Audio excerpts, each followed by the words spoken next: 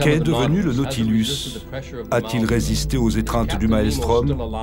Le capitaine Nemo est-il toujours en vie? Poursuit-il sous l'océan ses effrayantes représailles? Les flots apporteront-ils un jour ce manuscrit qui renferme toute l'histoire de sa vie?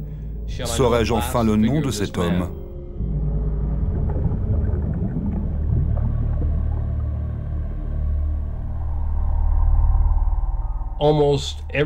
Presque tout ce qui est réalisé aujourd'hui sous les mers, grâce à la technologie sous-marine, a été imaginé par Jules Verne.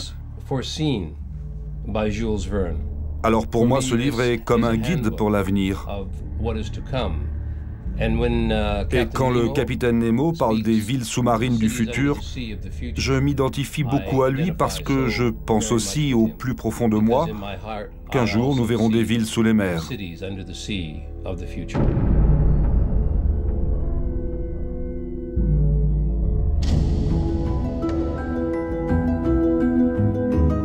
Sur la côte ouest du Canada, dans la province de Colombie-Britannique, il existe un homme qui ne s'est jamais remis de ses lectures d'enfance.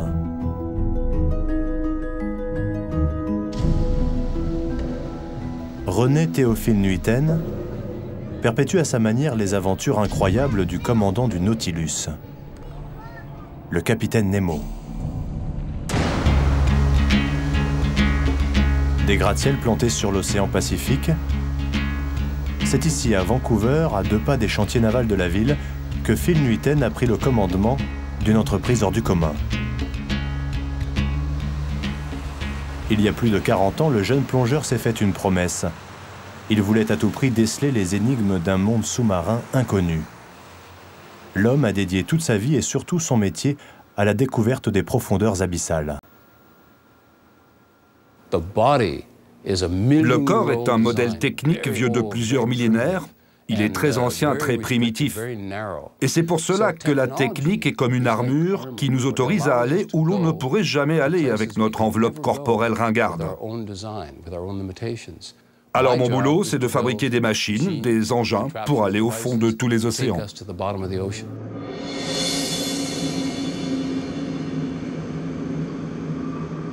Peu à peu et à quelques détails près, Phil s'est construit un monde identique à celui de son héros vernien de 20 milieux sous les mers. Ce marin reclus dans les abysses est protégé par l'épaisse cuirasse de son Nautilus.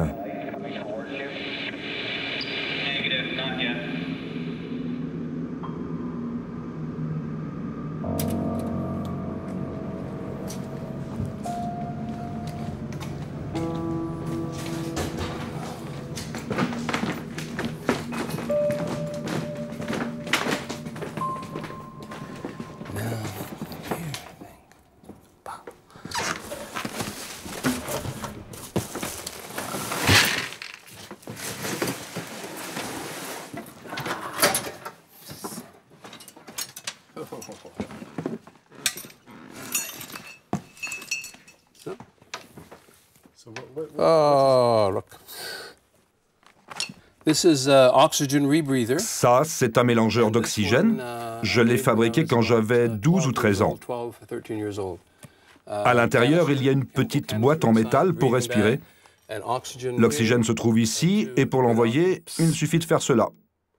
Inspiration, expiration. Voilà, tout se faisait à la main et ça marchait bien. Uh, Avec cet appareil, je pouvais rester 40 minutes sous l'eau, enfin de 30 à 40 minutes. Je voulais construire quelque chose de nouveau qui pouvait me permettre de rester en bas.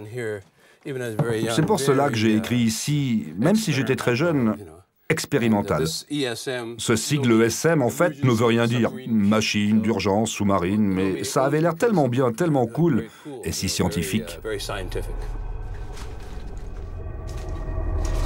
Nous allons de découverte en découverte. Petit à petit, Phil nous explique sa manière de concevoir ses inventions.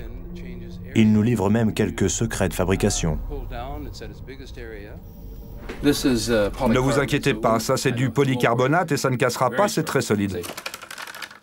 Alors je compte mettre une membrane ici, et cela va s'ouvrir et se fermer comme un parapluie.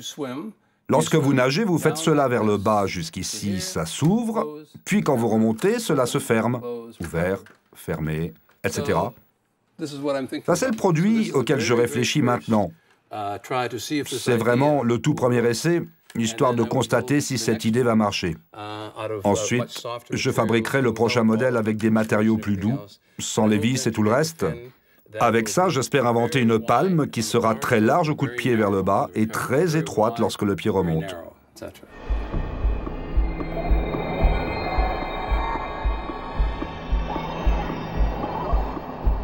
Les ateliers de Phil Nuiten ont des airs de Capharnaüm. Ici et là sont entassés des centaines de souvenirs, des restes d'exploration ou encore quelques anciens trophées sous-marins. C'est un véritable musée qui s'ouvre, où les pièces de haute technologie côtoient la préhistoire de la plongée sous-marine.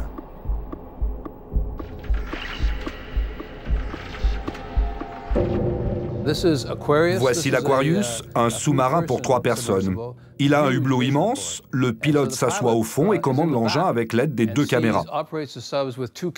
On l'utilise beaucoup pour des travaux de surveillance, pour le département des pêches, les ponts, les quais, le passage des câbles sous-marins et de pipelines. C'est un sous-marin idéal parce qu'on peut transporter beaucoup d'équipements à l'intérieur et il peut rester sous l'eau de longues périodes.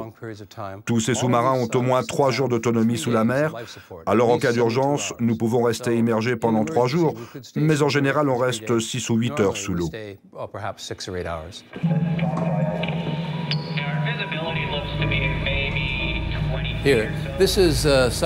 Ce sous-marin-là s'appelle la loutre de mer. On l'a fabriqué ici en 1971. Il a fait tellement de plongées. Mais on avait toujours un problème avec la petitesse des hublots. Si vous vous écartez du hublot, alors votre champ visuel rétrécit. À l'époque, il fallait être très très près pour voir quelque chose.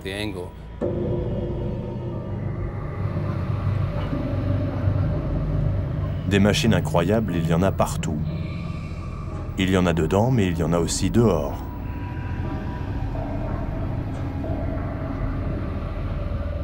D'une pièce à l'autre, on découvre des bathyscaphes aux formes bizarres. Phil collectionne aussi de drôles de masques de plongée.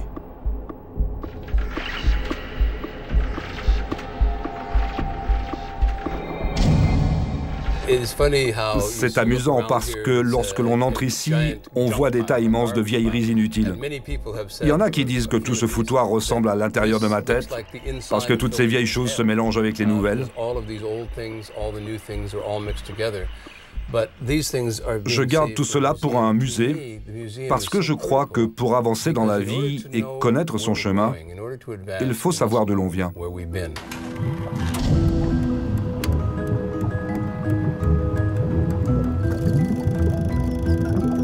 Lorsqu'il est enfant, Phil Newton apprend à nager dans les eaux profondes de Colombie-Britannique.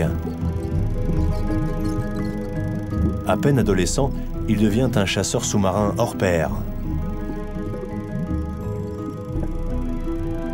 Plus tard, le jeune Canadien tient une petite boutique de matériel de plongée à Vancouver.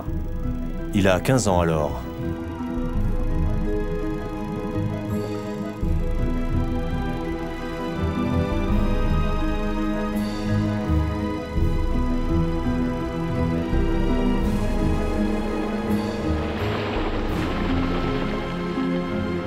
Avec sa bande de copains, ils plongent dès qu'ils le peuvent pour aller débusquer des pieuvres géantes et autres monstres marins qu'ils revendent ensuite aux aquariums de la ville de Vancouver.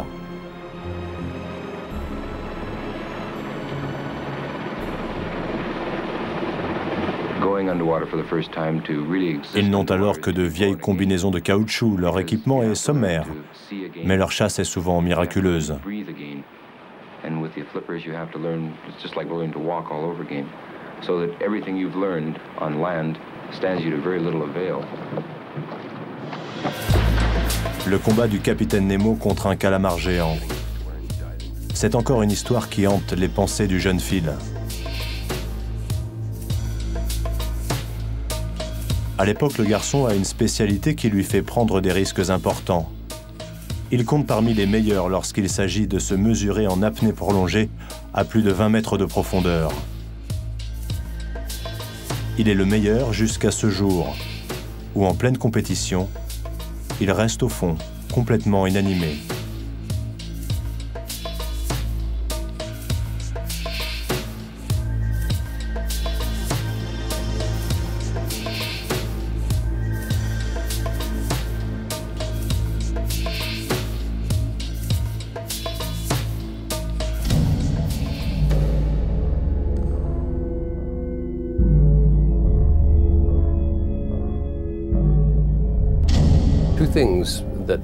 Il y a deux choses que j'ai apprises du fait d'être inconscient sous l'eau. La première, c'est qu'on entend souvent que votre vie défile devant vous alors que vous êtes en train de vous noyer. Et l'autre, c'est que c'est vraiment terrible de mourir noyé parce qu'on étouffe, on s'étrangle. Ces deux choses, dans mon cas, étaient complètement fausses. J'ai retenu mon souffle le plus longtemps possible lors de cette compétition d'apnée en eau profonde. J'ai pensé qu'en relâchant du CO2, je pourrais rejoindre la surface. Mais dès que j'ai expiré, j'ai inspiré de l'eau dans mes poumons.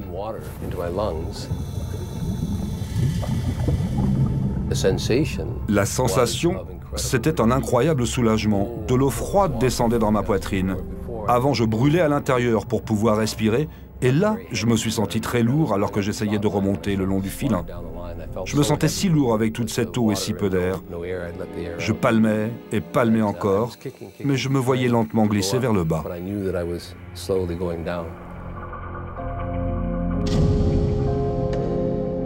Ce jour-là, si Phil n'avait pas laissé l'eau de mer remplir ses poumons, il serait bel et bien mort.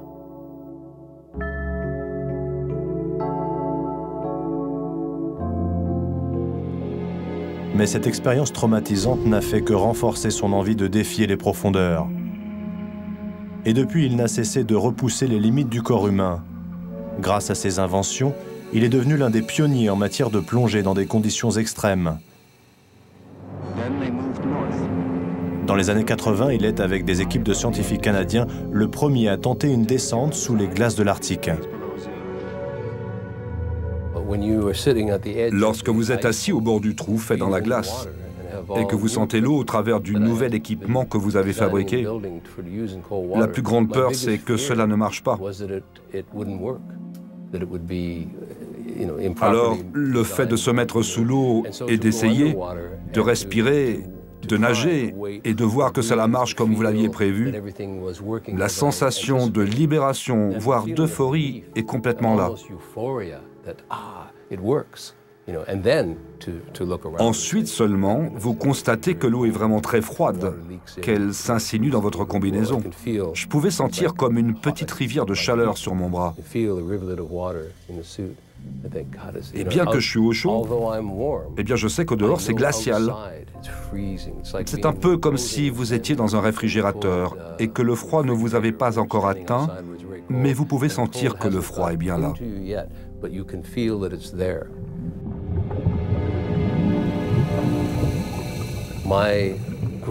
Mon plus beau souvenir de cette époque, c'est que c'était vraiment un endroit étrange, comme un autre monde. Tout n'est que glace et neige. Mais une fois dans l'eau, je ne me souviens que d'une chose. Ah, je suis si heureux que mon matériel fonctionne si bien.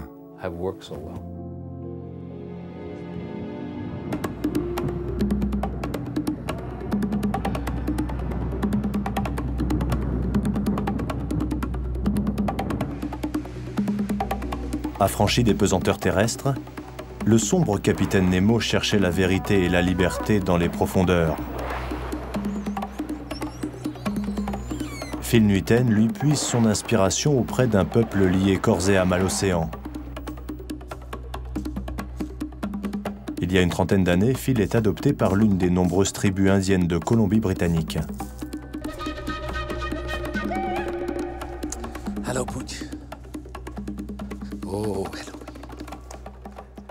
Les Indiens Kwakwala vivent ici depuis des milliers d'années grâce aux richesses incroyables des eaux du détroit de Johnson. Ils sont reconnus dans la région comme les meilleurs sculpteurs de totems et de masques rituels. Issu d'une famille métisse de l'intérieur des terres canadiennes, Phil renoue ici avec une longue tradition. De temps à autre, il aime revenir sur l'île aux Cormorans, une île isolée au beau milieu d'un bras de mer, au nord-est de l'île de Vancouver. Je suis venu ici quand j'étais très jeune pour chercher des informations sur le peuple Kwakwaka'wakw. Et à ma grande surprise, bien des années plus tard, je suis revenu ici pour plonger parce que cette île a des réserves très limitées en eau douce. En fait, l'eau est acheminée jusqu'ici de l'île de Vancouver grâce à un pipeline. Alors avec l'un des très bons plongeurs professionnels de cette île, un gars nommé Barry Minton, on avait l'habitude de surveiller ce pipeline une fois par an. Et je suis venu ici encore et encore, et c'était à chaque fois l'occasion de renouer des liens avec les enfants que j'avais connus quand j'étais petit.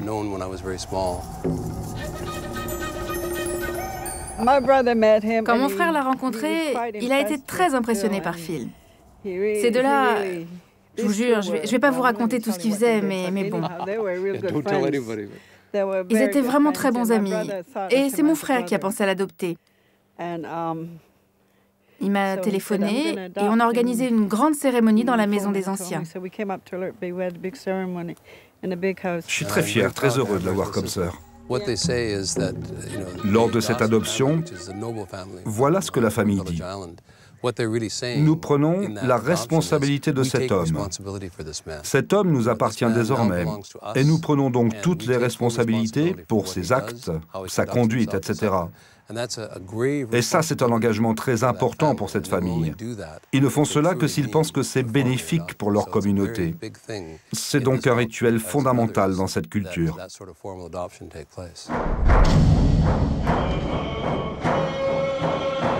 Le capitaine Nemo prenait fait et cause pour un jeune Indien pêcheur de perles.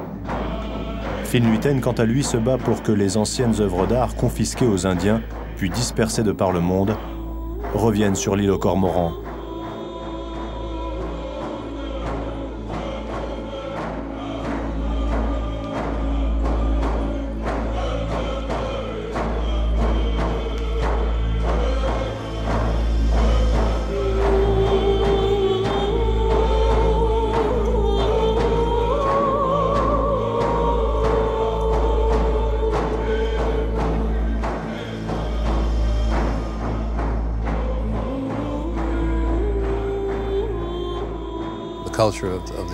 La culture de ce peuple est à la fois si simple et si complexe.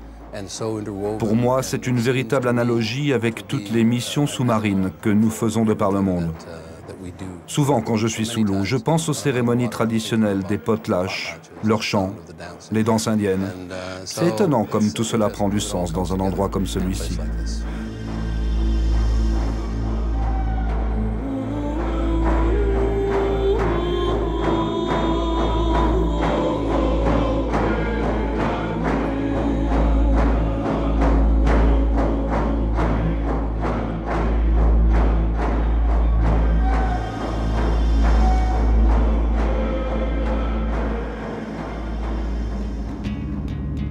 Après ce voyage initiatique et une plongée au cœur de l'imaginaire de notre Nemo des temps modernes, nous rentrons à Vancouver,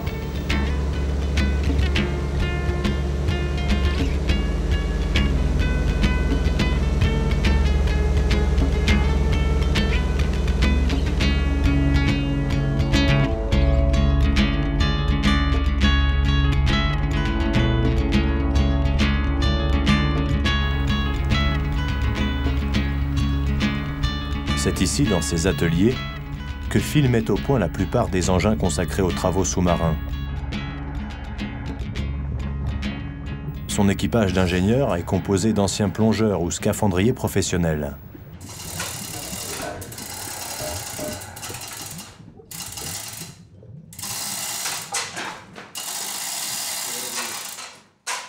Aujourd'hui, Phil est devenu un businessman redoutable. Jeff, son bras droit, en sait quelque chose. Le jeune pilote de sous-marin est l'un des rares à partager les prouesses techniques de ces machines, dignes d'un roman de science-fiction.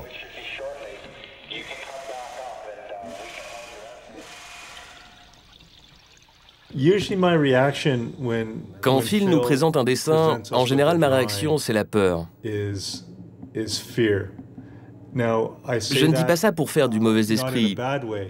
Je dis cela parce que je sais qu'il a pensé tel ou tel véhicule dans sa tête.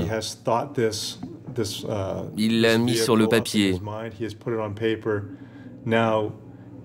Il va donc nous donner la mission de le construire et je sais qu'il ne nous lâchera pas d'un pouce avant que sa nouvelle invention ne devienne réalité.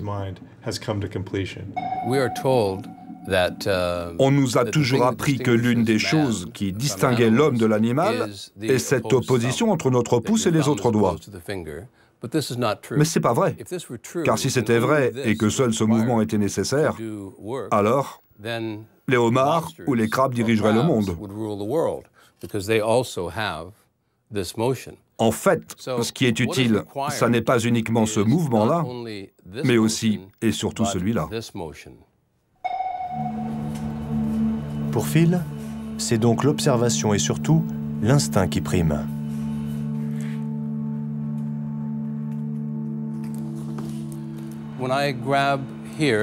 Regardez, quand je serre ici, je peux ressentir la texture et la forme exactement comme si je le faisais avec mes propres doigts.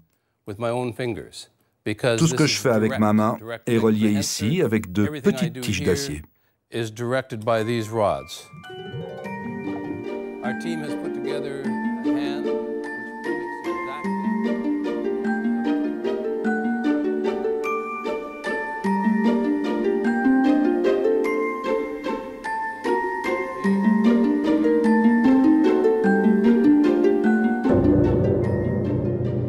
Après avoir frôlé la mort sous l'eau, après avoir vu disparaître ses compagnons de plongée lors d'accidents de décompression, l'ancien scaphandrier n'a de cesse d'inventer d'étranges véhicules subaquatiques.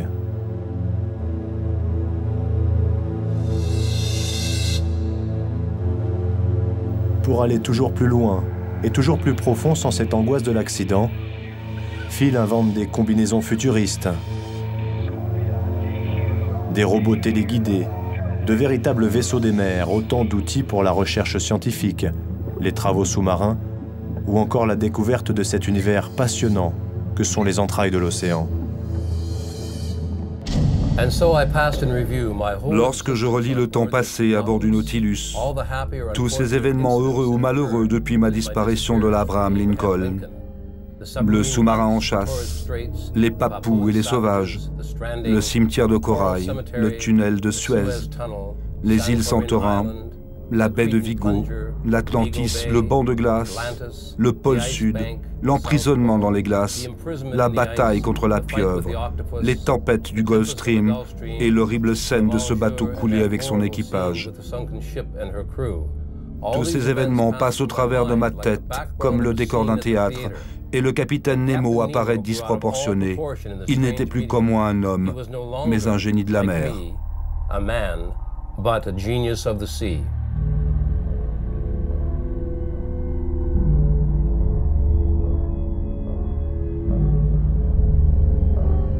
Nemo parcourait sans relâche le monde invisible des mers. L'insatiable Phil compte lui aussi, grâce à ses inventions géniales, laisser son nom gravé dans les pages de l'histoire des abysses.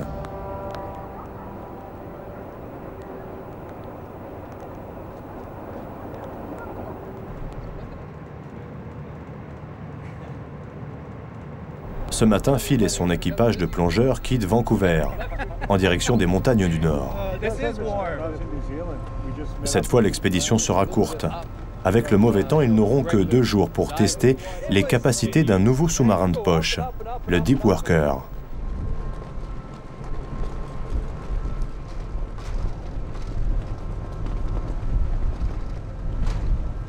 Ce qui est intéressant dans cet endroit, c'est de voir que les abysses de l'océan Pacifique sont si proches de Vancouver. À l'instant précis, il y a 300 mètres de profondeur, alors que nous ne sommes pas très éloignés du rivage. Toutes ces îles qui sortent de la mer comme des montagnes, j'ai vécu ici toute ma vie, et je ne me lasse pas de regarder tout cela. C'est fascinant de trouver des endroits où la civilisation et le monde sauvage sont si rapprochés. C'est magnifique le capitaine Nemo commandait le Nautilus. Phil, lui, se contente d'un minuscule sous-marin, qu'il a surnommé le Travailleur des profondeurs. C'est le dernier né de sa flotte sous-marine, et c'est encore une fois une avancée incroyable pour le monde de la plongée et la découverte des abysses océaniques.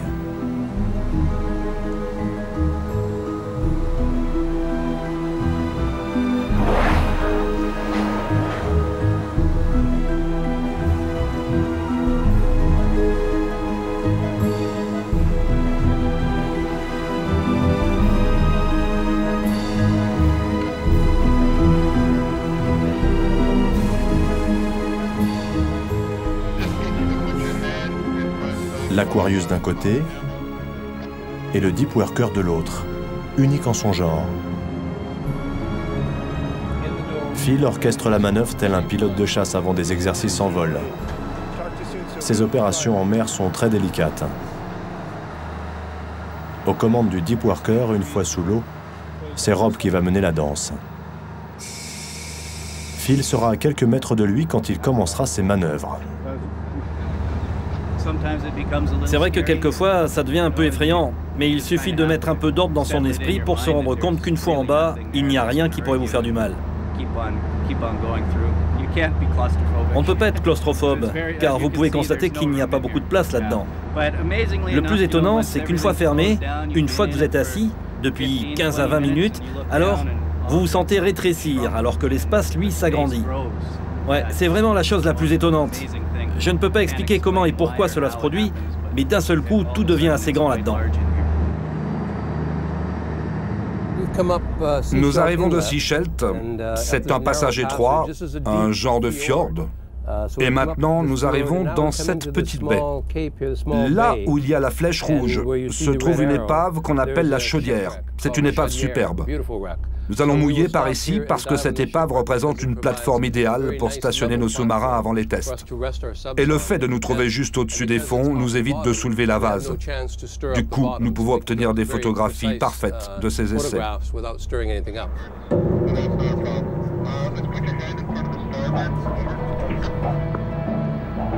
Topside AQ, roger that.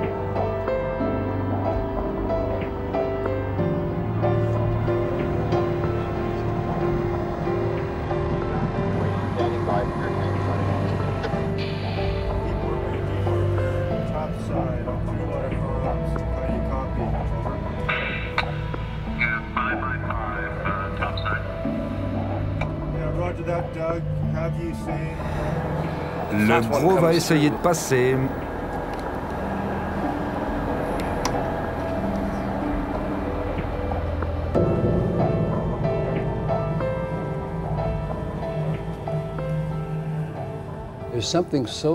Il y a quelque chose d'incroyablement gratifiant lorsque l'eau vous recouvre la tête. Vous fermez les yeux, faut regarder autour et là vous vous dites Hé, hé, ça marche, je suis vivant. À ce moment-là, vous avez le sentiment d'avoir construit de vos mains un engin qui vous permet d'aller sous l'eau. C'est un test immédiat, sans appel. Il n'y a pas de théorie pour cela. Une fois que vous êtes en dessous, soit ça marche, soit ça ne marche pas.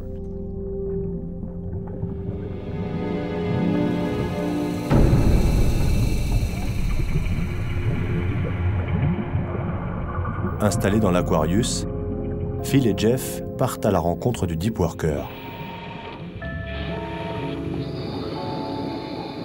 Ils commencent leur lente descente à la recherche d'un bâtiment militaire datant de la Seconde Guerre mondiale.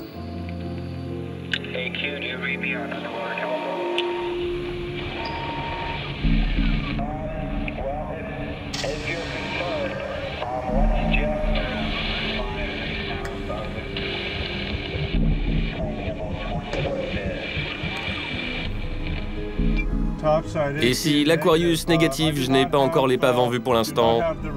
Terminé. Ça y est, on a l'épave droit devant nous.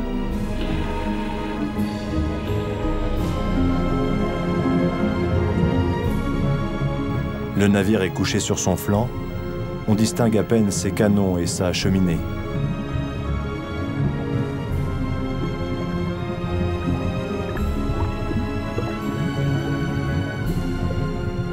Quand soudain, deux petites lueurs apparaissent derrière la coque rouillée.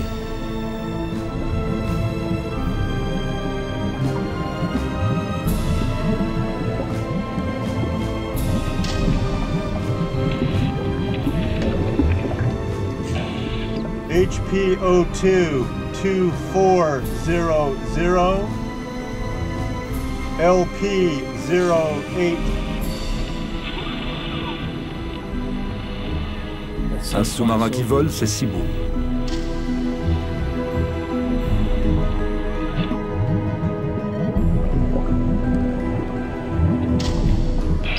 Ok, je te reçois, je reste en alerte. Tu peux commencer les essais de manipulation.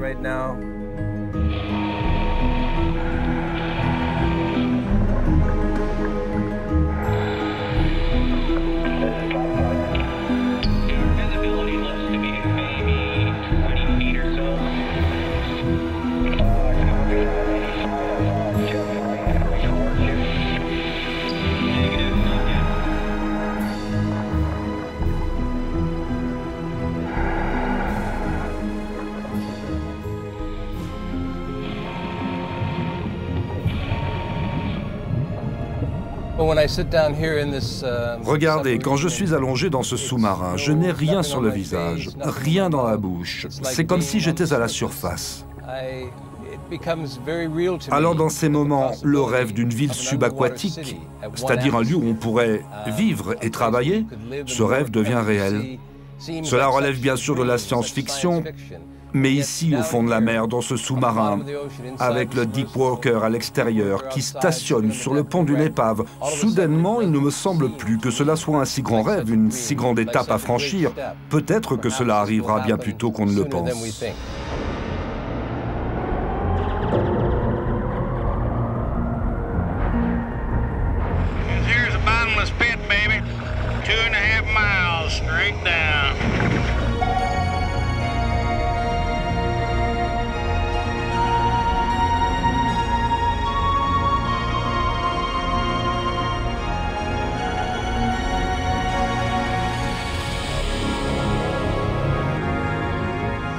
Vivre sous la mer comme sur Terre.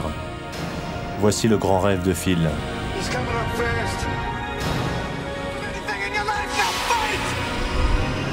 Les cinéastes font d'ailleurs souvent appel à lui pour dessiner et concevoir les costumes ou les machines infernales de leurs aventures sous-marines.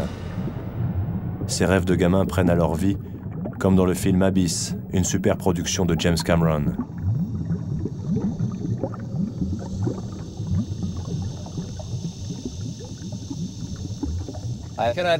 Je me demande souvent qu'aurait pensé le capitaine Nemo de tout cela.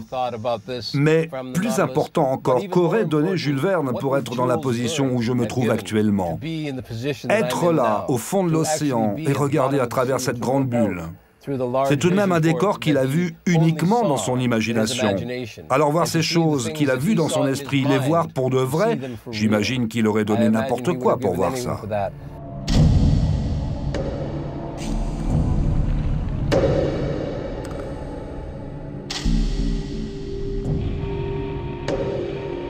Avec toutes ses inventions, Phil a fait fortune sur le marché des engins sous-marins.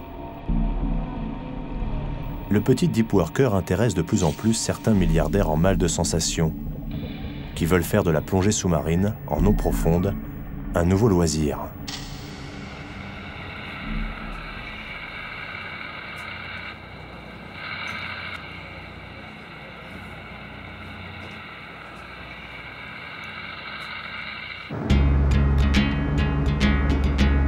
En attendant que des villes tout entières surgissent dans l'obscurité des océans, il est grand temps que Phil rentre à Vancouver afin de poursuivre ses recherches interminables.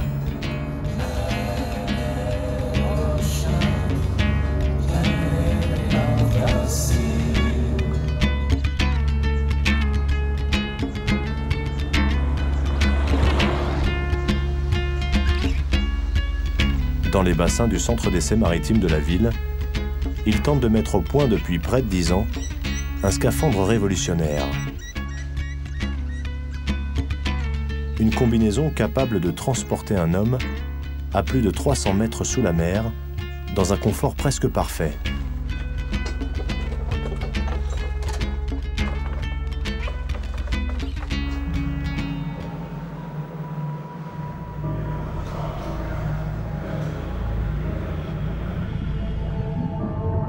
Après la conquête de l'espace, la guerre des profondeurs. Phil travaille sans relâche parce qu'il sait qu'un jour, les fonds marins deviendront un enjeu économique colossal.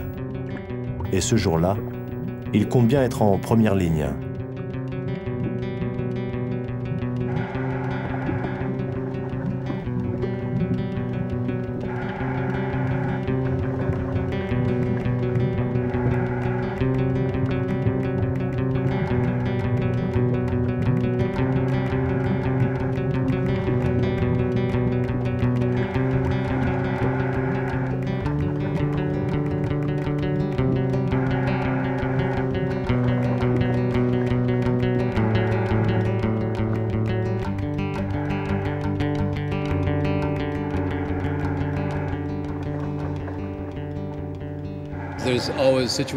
Il y a toujours des uh, situations où on a l'impression que le mauvais sort s'acharne sur vous. Uh, Mais si vous arrivez ne serait-ce qu'une seule fois à faire marcher votre invention, alors le système fonctionnera. Ce matin, on a vu une nage parfaite, alors c'était bon. Avec une seule nage réussie, on sait que cela pourra se faire une nouvelle fois.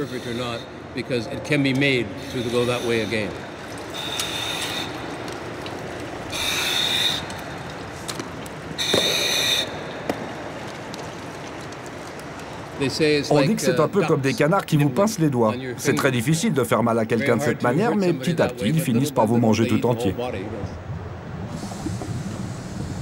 Le scaphandre ultra moderne n'est pas encore sur le marché, et déjà il attire toutes les attentions, et notamment celles des militaires.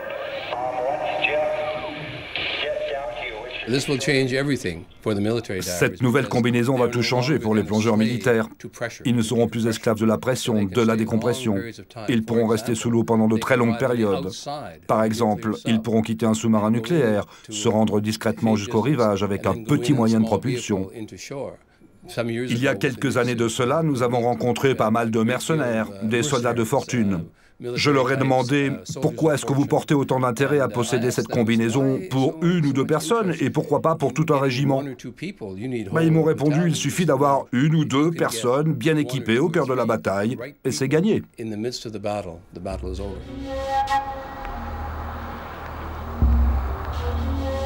En attendant de futurs conflits sous-marins, la nuit tombe sur Vancouver.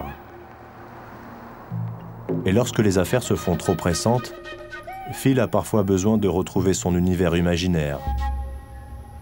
Quand il n'est pas sous la mer, il s'échappe dans un petit atelier secret situé juste à côté de sa maison.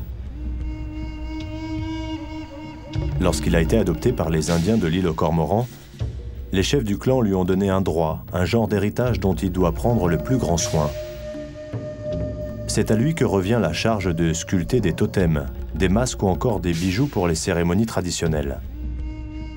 Ils lui ont même donné le nom d'un grand poisson en guise de totem, le Red Snapper.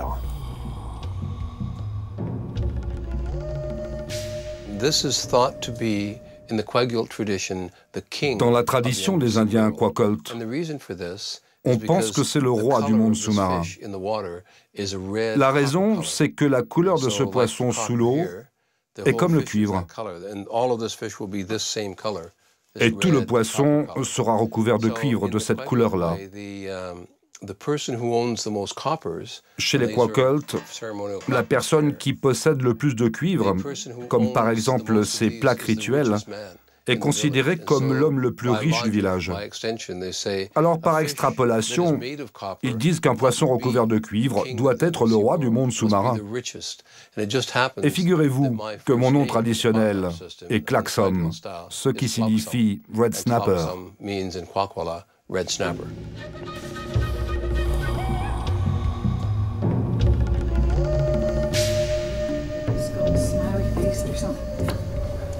So that's how that will look. Pretty good. Yeah, turned out pretty good. I, I have to turn this head a bit though. So a lot of painting to do, but. Yeah, quite a bit. Okay, Let's see. that goes on here. Mm-hmm. And see in the wing, I've just started the painting. Um, We have a. Uh,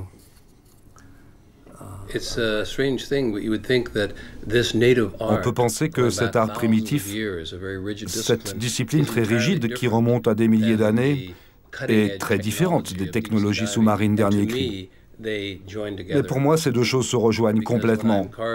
Parce que lorsque je sculpte, je me surprends à rêver à des créatures sous-marines. Je dessine alors un poisson, un aigle marin, et je pense à eux sous l'eau. Et puis parfois, lorsque je suis dans mes sous-marins et que j'attends par exemple qu'on veuille bien bouger la grue avant de descendre, eh bien je pense à la danse, je pense à mes masques ou je ne sais quoi encore. Il y a longtemps, les Indiens croyaient qu'un monde subaquatique existait, un monde semblable à notre monde en surface. Ils pensaient aussi que chaque animal et chaque être humain possédait un double sous l'eau. Ils croyaient aussi que les fonds des mers étaient la demeure des noyés. Et par exemple, lorsque l'un d'eux se noyait, il pensait qu'il allait vivre une nouvelle vie sous l'eau.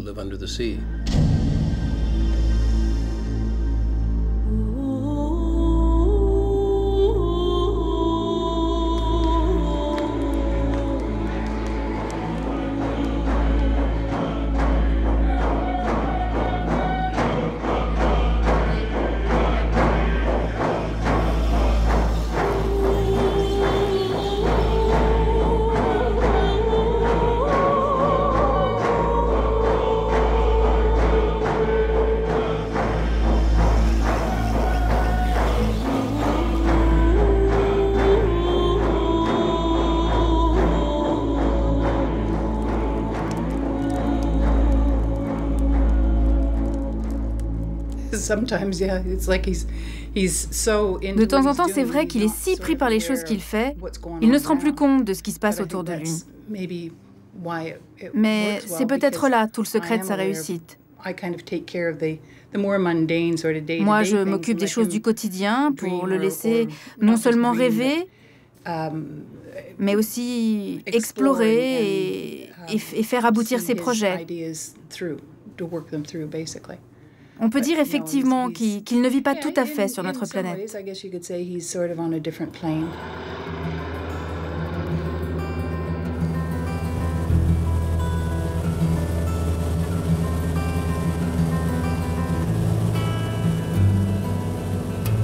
À défaut de vivre sous l'eau, Phil et Mary, sa femme, s'envolent vers une petite île boisée située à 20 minutes de leur maison de Vancouver.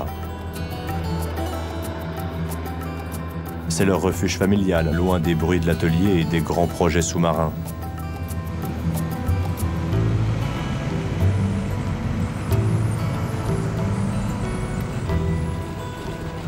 À l'image de Nemo, le commandant du Nautilus, notre inventeur s'est trouvé une île mystérieuse, un endroit retiré du monde.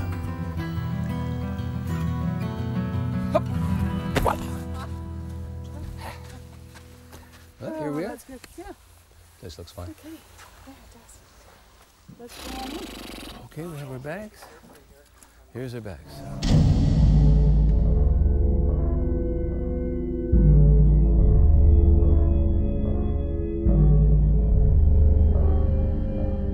Quand je relis ce livre et toutes les aventures étranges du Nautilus, du personnage Conseil, du Canadien Ned et bien sûr de Nemo et de son équipage, je ne peux m'empêcher de penser à ma propre aventure autour du monde, à toutes ces plongées un peu partout, de l'Arctique canadien sous les glaces jusqu'au golfe du Mexique, de la côte pacifique d'Amérique du Nord aux côtes de l'Atlantique, de la France et de la Méditerranée, des plongées aux Fidji, à Tahiti, en Australie.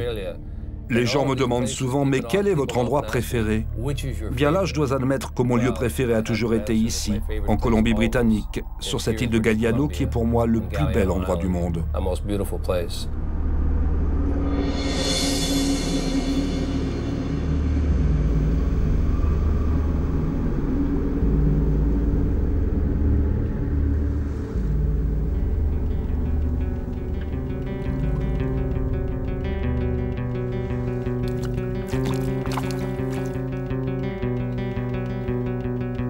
Tout au long de ce voyage dans l'imaginaire de Phil Nuiten, en relisant avec lui toutes ses aventures sous-marines, en plongeant à bord de ces engins du futur, nous avons acquis une certitude. L'esprit du capitaine Nemo est bel et bien vivant. Il navigue quelque part, au large des côtes de Colombie-Britannique.